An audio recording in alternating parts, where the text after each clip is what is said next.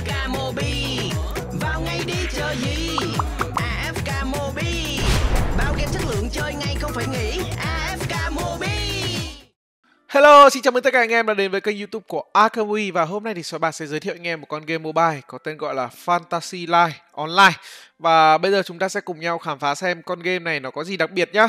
Như anh em đã thấy thì uh, con Fantasy Online này uh, nó sẽ là một con game chơi kiểu màn hình dọc. Mình cũng chưa tìm hiểu nhiều lắm Nhưng mà chúng ta sẽ vào game và chơi thử đi.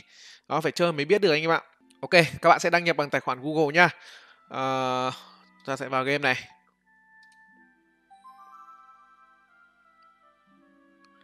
Đó, đăng nhập mất một lúc. Rồi chúng ta sẽ vào game. Có lẽ là con game này nó sẽ mang một cái um, uh, nền đồ họa mang phong cách hoạt hình rồi. Rồi, ta tìm hiểu này. Game này hình như là mới chỉ có tiếng anh thôi không có tiếng việt đâu. Để xem chơi nhạo à, chúng ta sẽ tạo nhân vật nhá. Ừ, nhân vật kiểu dạng hoạt hình. 2D game 2D thôi anh em nhá. Đây các bạn để uh, ờ, tùy uh, tùy chỉnh nhân vật của anh em nhá. Các bạn thấy tùy chỉnh nhân vật nam hoặc nữ mình sẽ chọn nhân vật nam này. Um, đây là hình dáng cơ thể béo gầy mình sẽ chọn là standard tức là bình thường thôi. Ở đây khuôn mặt. Đó cái này tùy sở thích của anh em thôi. Đây chọn kiểu chubby rồi um, đây là kiểu tóc này. Đó các bạn sẽ tạo ờ, hình uh, uh, cho nhân vật của anh em. Kiểu mắt này. Rồi mũi nè mũi miệng. Lông mày. Đó rồi um, tai. Đấy tùy anh em nhá cái này thì tùy anh em thôi. Rồi uh, chọn uh, màu tóc này. Có một số tùy chỉnh cho anh em đó, mình sẽ để màu tóc. Đây, để màu này đi. Đấy, ok, thì tạm thời cứ biết thế như thế nha anh em nhá. Mình sẽ tạm à, để như vậy thôi.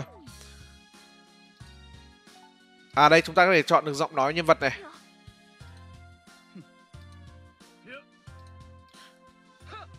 Đó, có thể tùy chỉnh. Rồi, sẽ chọn kiểu voi này đi. Rồi, chúng ta sẽ đặt tên cho nhân vật và bắt đầu. Đó next. Rồi chúng ta sẽ bắt đầu game nhá. Ừ, tạm thời để như vậy còn bạn nào mà thích cụ thể hơn thì ờ, anh em có thể tùy chỉnh kỹ hơn. Để xem con game này nó chơi như nào mình cũng chưa tìm hiểu nhiều ấy cũng chưa biết là cái con ờ, fantasy life nó này nó chơi như thế nào cả. À, trông có vẻ rất là dễ thương một con game uh, giải một con game dạng cây rùa giải trí thông thường thôi. Rồi chúng ta sẽ có phần um, cốt truyện này rồi mình sẽ bỏ qua câu chuyện đi. Không cần quan tâm lắm.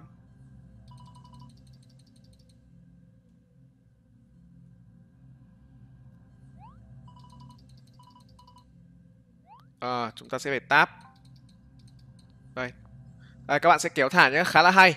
Các bạn sẽ có analog này trên khắp màn hình luôn. Có ấn ở đâu trên màn hình cũng được. Sau bạn kéo và di chuyển để điều khiển nhân vật của mình di chuyển. Đó. Em thấy không? Mình sẽ dùng một ngón tay thôi. Rồi chúng ta sẽ phải chiến đấu nữa. À tab để tấn công này. À, chúng ta cũng có tính năng auto nhá. Đó các bạn để bật auto hoặc là các bạn để tab trên màn hình để nhân vật mình của mình tấn công. Đó một dạng game nhập vai cũng chả hẳn là cây rùa đâu. Một dạng game ờ, nhập vai rồi. À chúng ta có thể chuyển đổi nhân vật để chiến đấu. À, rồi. Một dạng game nhập vai hành động chăng? Ừ. lúc đầu mình cứ tưởng là cây rùa nhưng không phải à, một dạng game nhập vai hành động à, nhân vật theo kiểu là chibi Đấy, game 2,5D chính xác là game 2,5D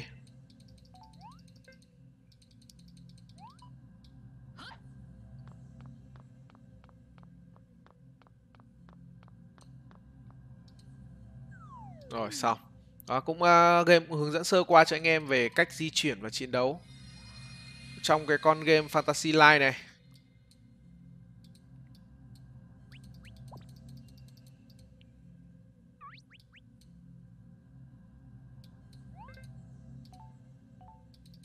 Rồi mình sẽ skip này, đi lên đây.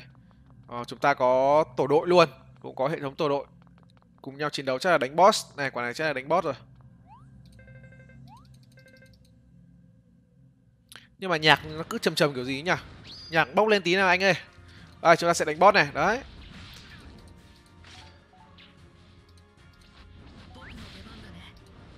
đây cái này không auto được chúng ta sẽ đánh bằng tay nhá đó các bạn game này anh em chơi hoàn toàn bằng một tay được nhá.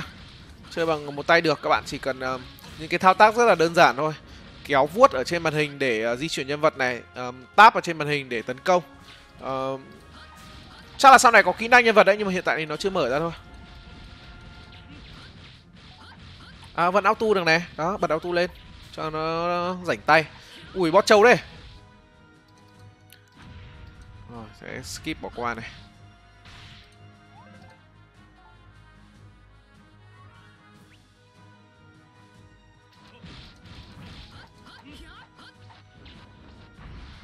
Nhảy xuống nó đập. Đó. Không có kỹ năng gì nhở? Mình cứ tưởng nhân vật nó sẽ có kỹ năng gì đó cơ nhưng mà hiện tại chưa có kỹ năng.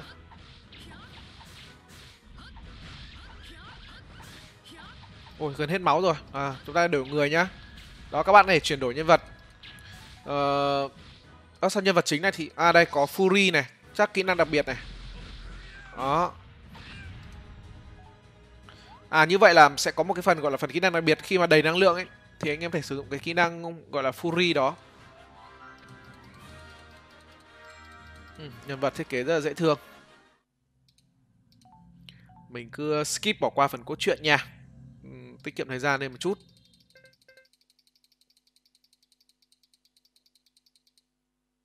Ờ, game này nó loading hơi lâu. Cảm giác là nó load hơi lâu một chút. Nhanh hơn thì ok hơn.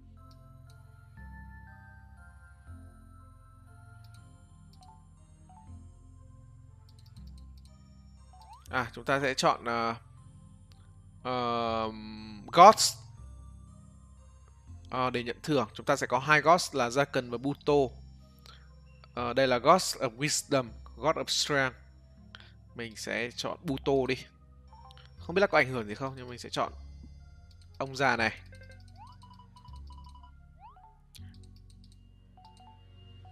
À 12 chúng ta sẽ chiến đấu. Đây sẽ có 12 nhân vật. Chúng ta sẽ chiến đấu. Và cũng có thể thu thập. Đó, chúng ta có thể câu cá này uh, khai khoáng này rồi um, uh, lấy gỗ. Rồi các bạn có tính năng uh, grab đồ nữa. Đó, nấu ăn có nấu ăn này. Có chế tạo uh, nấu ăn này um, thu hoạch trồng trọt rồi chế thuốc các thứ này nọ nữa. Đó tức là yếu tố kiểu là nghề nghiệp ấy kỹ năng sống. Rồi ở đây chúng ta sẽ lựa chọn cái nghề mà các bạn sẽ uh, muốn muốn làm. Uh, chúng ta sẽ có 12 nghề khác nhau bao gồm là những nghề như kiểu là chiến binh thì chúng ta có paladin này uh, mercenary này hunter này uh, thợ săn này. Đấy hunter là thợ săn đấy magician này còn nếu mà các bạn muốn thiên về nghề thu hoạch thì chúng ta có đào khoáng này chặt gỗ này câu cá. Uh, còn thiên về kiểu dạng là kiểu nghề nghiệp nấu ăn thì chúng ta sẽ có nấu ăn này thợ rèn này. À, đây thợ rèn này. Rồi uh, cái này là kiểu thợ gỗ. Còn đây là gì? Tyler là thợ may vá. Đấy cuối cùng là nhà hóa chất. Đấy thì các bạn sẽ lựa chọn nhá. Ví dụ uh, mình thích câu cá đi hay là nấu ăn đi mình làm sự làm nấu ăn thì sao? Mình sẽ chọn nhá. Rồi chúng ta sẽ chọn nghề nấu ăn. Tức là game này nó không phải là kiểu dạng chỉ mỗi là chiến đấu đâu mà các bạn có thể chọn nó đúng như tên gọi ấy fantasy life à, ờ, các bạn có thể lựa chọn uh, bạn muốn là ai. Ví dụ mình muốn làm đầu bếp thì mình sẽ lựa chọn như vậy. Có vẻ như là cái yếu tố cũng có yếu game này nó cũng sẽ có yếu tố cây rùa đấy em thông cảm nhé bởi vì mình cũng không tìm hiểu game bây giờ mình cũng là lần đầu tiên mình vào cái game này. À, chúng ta sẽ xem là à chúng ta có tính năng chiêu mộ luôn này. à, nó cũng kết hợp cái yếu tố nhập vai um, thể tướng vào. Đấy chúng ta có thể chiêu mộ nhân vật. Để xem được tặng nhân vật gì đây. New character. Black mist một thợ rèn. À, chúng ta xem có thêm nhân vật mới một thợ rèn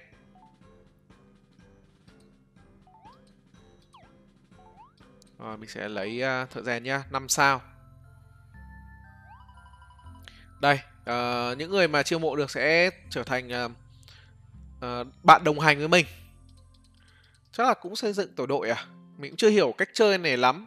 Chưa rõ cách cách chơi cụ thể lắm bởi vì nó cũng không phải là một con game nhập vai uh, hành động thông thường nữa rồi mà sẽ bỏ qua phần câu chuyện nhá mà cảm giác là nó sẽ có nhiều cái yếu tố để mình khám phá hơn á cái này phải chơi mới biết được game lốt lâu quá. Một cái vấn đề hạn chế game này là nó uh, lốt rất là lâu lốt đinh rất là lâu chuyển cảnh rất là lâu luôn. Đây rồi chúng ta sẽ bắt đầu.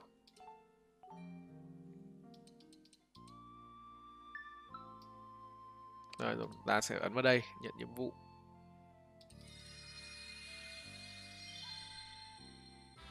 Rồi mở khóa một cái gọi là một cái tượng tượng thần không biết có tác dụng gì. Đấy lại loading này anh em thấy không? Không biết là do game lag hay là gì nhưng mà lại loading luôn. Cứ nói chuyện hay chuyển cảnh là nó lại lốt đấy là một cái mình không thích ở game này lắm. Đây chúng ta sẽ có phần cốt truyện chính adventure này. Ở đây thì các bạn sẽ có rất nhiều nhiệm vụ để làm nhé rồi chúng ta sẽ mở khóa. Tính năng đầu tiên là phần cốt truyện main story.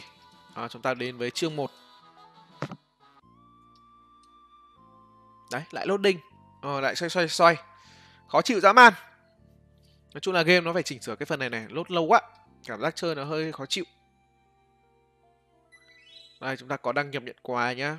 Đấy chỉ cần lốt mỗi cái đăng nhập nhận quà thôi mà cũng lâu. Không biết là do mạng hay là vấn đề gì anh em ạ.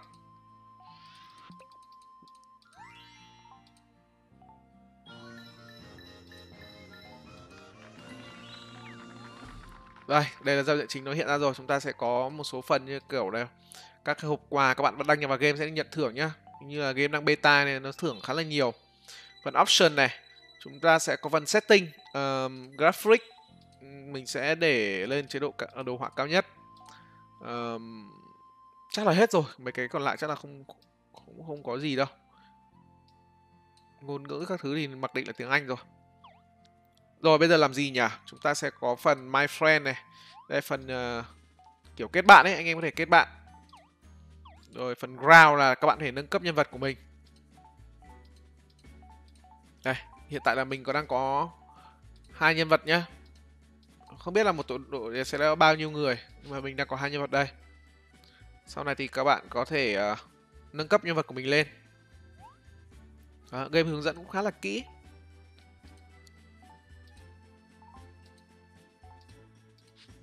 Đấy, nó sẽ chia ra ba nghề ba nghề battle này gather và grab. B-Ray à? Tên một rapper. Rồi chắc là mình bấm ra ngoài đi chúng ta sẽ đến cái phần cốt truyện nhá. Đây nhiệm vụ cốt truyện này thử xem nó nhào ở đây chúng ta sẽ có hoạt động như kiểu main story này uh, quest này rồi few search một số cái hoạt động lên mình sẽ chọn main story nhá. Mở khóa chương 1 này. A Girl and the Dragon. Ở đây. Ải chương 1.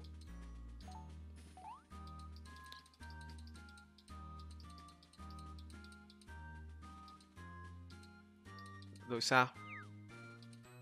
Rồi, bắt đầu nhiệm vụ này. Đấy, phải chơi mới biết được. Game này đúng là kiểu phải chơi mới biết được đấy anh em ơi.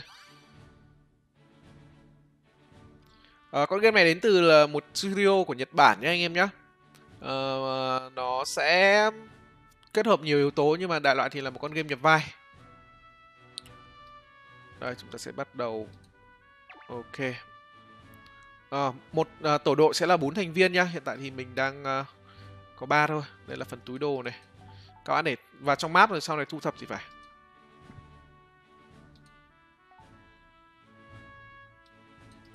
nó bảo cái này làm gì nhỉ?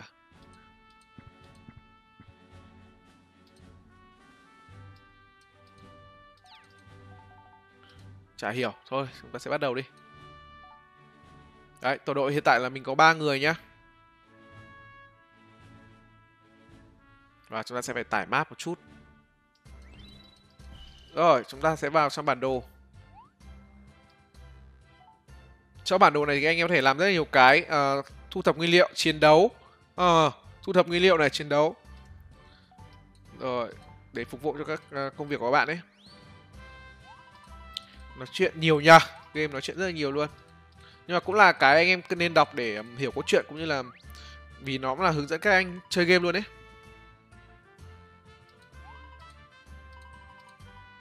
rồi ta sẽ đi nói chuyện với paladin. Cái này cái gì đấy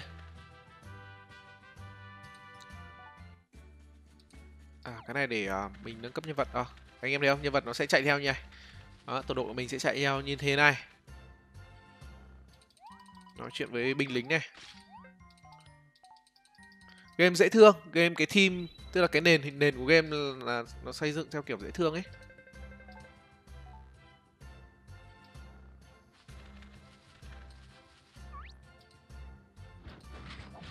Ồ, oh, chiến đấu này. À, cũng chiến đấu được này và mình sẽ đánh kill.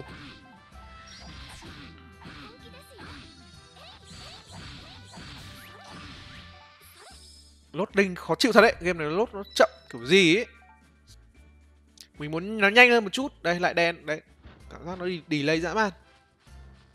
Giờ cần làm gì nhỉ? Uh, đây, chúng ta có thể... Uh, mình là... Mình mình là nghề... Uh, nấu ăn uh, mình phải kiếm nguyên liệu để nấu ăn thôi mình không thể chặt gỗ được. Mình phải có những cái nhân vật có khả năng chặt gỗ thì mình mới thể chặt gỗ được.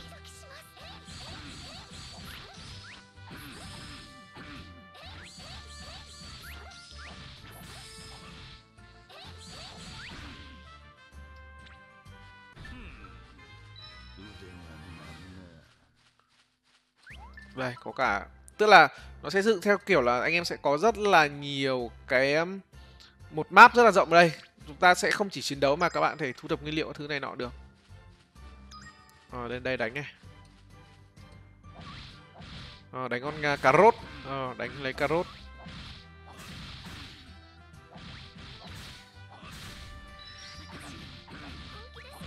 Này đúng là phải chơi chơi nhiều đấy mới, mới, mới nắm được cách chơi của game. Cũng hình dung ra được cách chơi của game rồi. Mình mình riêng sáu bạc cũng hình dung ra được khoảng à, chắc được tầm khoảng 40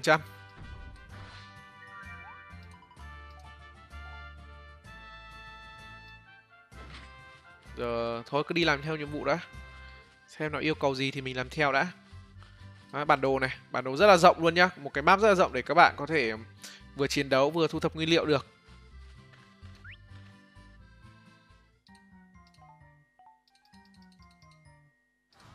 Ban đầu thì anh cứ đi làm theo nhiệm vụ ờ, của game đã.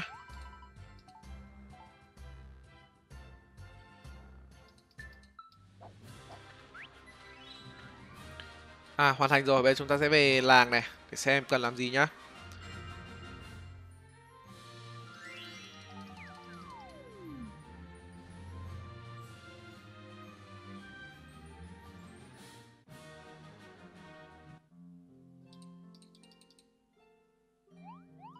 à chúng ta có tính năng uh, chiêu mộ ừ.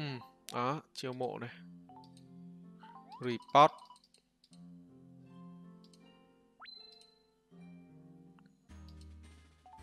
ai trả nhiệm vụ. Hoàn thành nhiệm vụ đó. Nhận thưởng kim cương. Mở khóa nhiệm vụ mới. Này phải chơi kiểu đọc hiểu rất là nhiều ấy. Con game này phải đọc hiểu rất là nhiều nhá. Đây là phần uh, challenge này. Nhiệm vụ uh, các cái nhiệm vụ nhiệm vụ ngày nhiệm vụ danh hiệu và những nhiệm vụ ờ, mà game nó sẽ cho nhận thưởng. Còn đây là phần thông báo nhé. đây một số phần thông báo. Có phần tip này. Con game này thì mình nghĩ là các bạn nên uh, lên trên mạng tìm hiểu thêm về game ấy thì nó sẽ dễ hiểu hơn. Chúng ta có phần uh, làng này.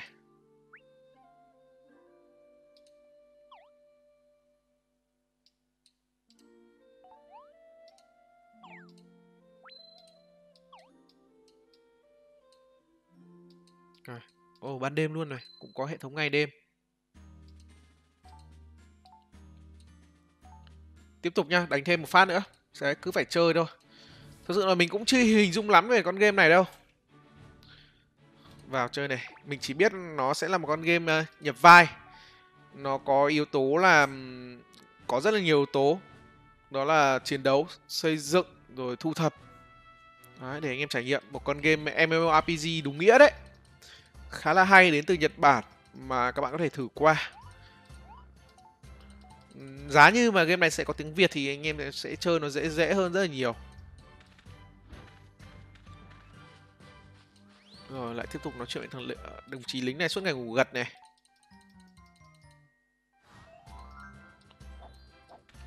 Giờ làm gì ta?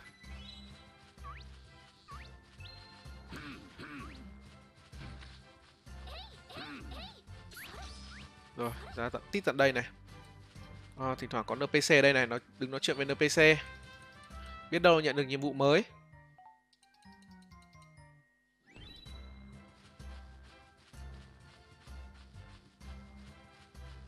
Đây hồ này để câu cá này nhưng mà mình không phải là nghề câu cá mình không có dụng cụ để câu anh em ạ. Rồi lại vào chiến đấu.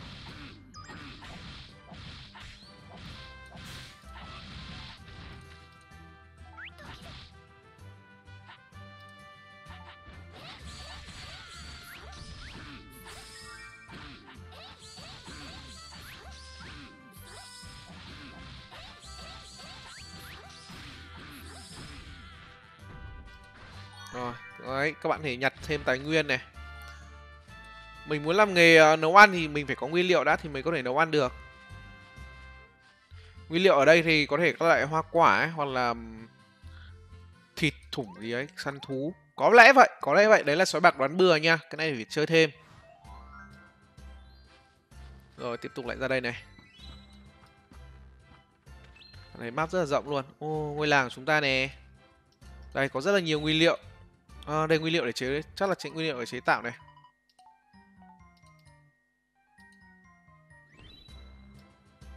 Rồi lại đi uh, kiếm gì đây? Ra đây nói chuyện này. Lại đi uh, kiếm cà rốt à?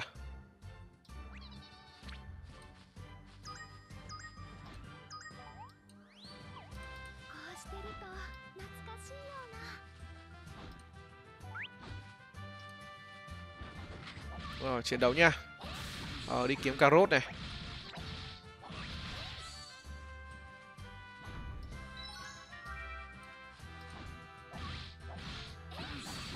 Đây có phần mini map này anh em phải để ý trên màn hình nhá. Nó sẽ hiện nhiệm vụ ra.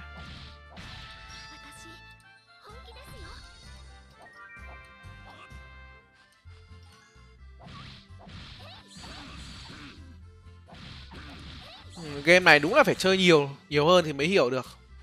Và các bạn cứ làm theo các bước ấy của game ấy, thì nó sẽ đỡ hơn. Mình mới hiểu được khoảng 50 60 phần trăm thôi. Không biết anh em thấy thế nào, chứ mình thì con game này nó sẽ có một cái lối chơi nó khác biệt so với rất nhiều game mình đang chơi hiện nay. Nó phức tạp hơn một chút, nó đa dạng hơn, nó hấp dẫn hơn đó, nhưng mà đồng nghĩa là anh em sẽ phải hiểu game. Đó mà hiểu hay không thì anh em phải dành thời gian để chơi đã. Chung là cũng được. Đấy, nếu các bạn nào mà muốn chơi thử thì cứ thể à, cứ tải game về chơi thôi.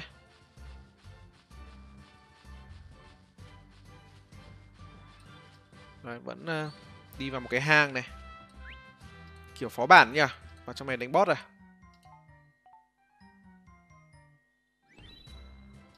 À chưa chưa vào hẳn trong này. Mới chỉ gọi là NPC thôi. Rồi chúng ta sẽ đi chiến đấu với à, con này con sâu nhỉ? À, con sâu. Đấy, bây giờ mình vẫn đang đi làm nhiệm vụ nhá. Cứ đi làm nhiệm vụ uh, theo game đã để xem nó yêu cầu như nào đã.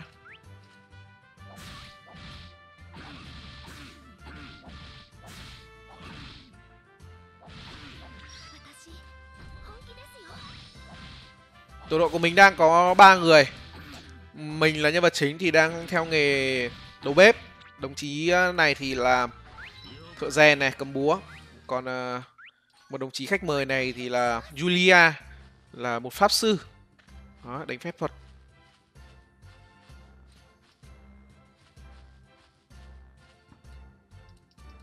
Nói chuyện nhiều nhỉ, game nói chuyện rất là nhiều luôn. Đúng là game của Nhật của khác.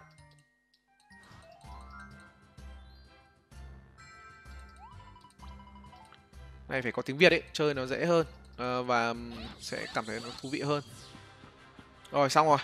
Ok thì như vậy là xóa bạc cũng giới thiệu nhanh cho anh em về một con game uh, nhập vai có tên gọi là fantasy life online.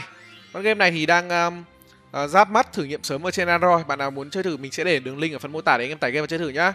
Cảm ơn anh em đã theo dõi video lần này của xóa bạc. Bạn nào thấy thú vị đừng quên like share chia sẻ cũng như subscribe cho kênh App Kaobi. Cảm ơn anh em rất nhiều. Bây giờ thì xin chào tạm biệt và hẹn gặp lại anh em trong những video tiếp theo. Bye bye. Chỉ độc quyền ở AFK Mobi Không mini game tuyệt vời hoang mỹ Nơi mọi người vui cười không sầu bi Quá tới thế cao, cho nhiều quá đi Vậy còn chờ chi, chỉ ngay đi